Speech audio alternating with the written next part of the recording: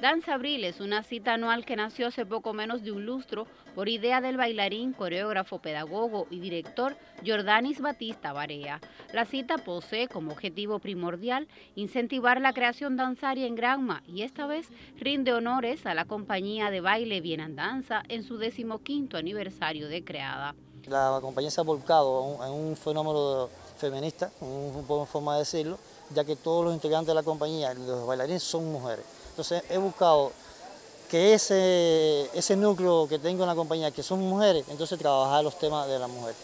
Que hasta el momento llevamos tres puestas en escena sobre referente a la mujer. El encuentro juntó en derredor de su programa a creadores y especialistas del baile profesional en esta región del oriente cubano en tanto, convocó a integrantes de los colectivos Gran Danza, Ballet Folclórico, Aquadance y Bienandanza. Creo que este evento, eh, por el Día de la Danza, va, a marcar eh, momentos importantes para continuar con el desarrollo de la misma, desde la Academia de la Enseñanza Artística hasta las diferentes compañías que integran el Consejo de las Artes Escénicas.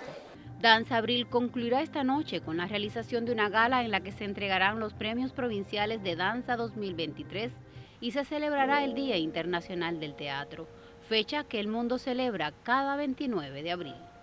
En Gran Maya, Kelin Pérez, Canal Cubano de Noticias.